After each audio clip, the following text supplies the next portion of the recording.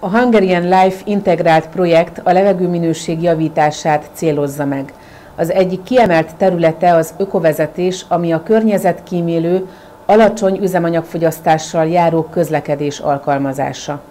Minimális odafigyeléssel egy gépjármű vezető akár egy litert le tud faragni a fogyasztásból 100 kilométeren. Biztonság. Sokkal kiszámíthatóbbá válik az autó vezetése. Társadalmi felelősségvállalás. A levegő tisztán tartása mindenkinek az érdeke. Több dolgot tehetünk mi is ennek érdekében. Rendszeresen szervizeltessük gépjárművünket és ellenőrizzük az olajszintet. Nem ajánlott a gyújtás követően egyből elindulni a gépjárművel, ugyanis ahhoz, hogy a kenés, a kenőnyomás és film felépüljön, idő kell. Hideg indítás esetén dízelautónál legalább egy percet, benzinautónál fél percet ajánlott várni.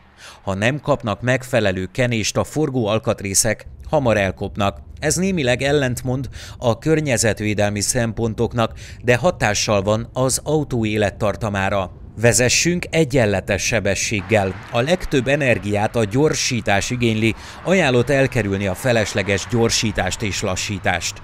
Próbáljuk meg megtartani a lendületet forgalomban, kanyarban is. Ez persze nem azt jelenti, hogy nagy sebességgel menjünk bele az adott kanyarba.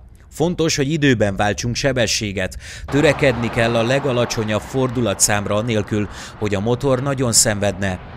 Igazodjunk a forgalomhoz, és ha van rá lehetőség, utazzunk többen az autóban. Ha a piros lámpát látjuk már messziről, ne nyomjuk a gázt, hanem hagyjuk az autót kigurulni. Fékezés esetén optimálisabb a gázlevétel és a gurulás. Figyeljük a zöld hullámot és próbáljuk elcsípni azt az ütemet, amivel folyamatosan haladhatunk. Ha a lámpa váltani készül, megéri akár kicsit gyorsítani, hogy még a zöldön át tudjunk jutni, és ne kelljen fékezni, illetve utána újra gyorsítani. Ez persze nem azt jelenti, hogy a pirosban menjünk át. Fontos, hogy ne tartsuk fel a forgalmat.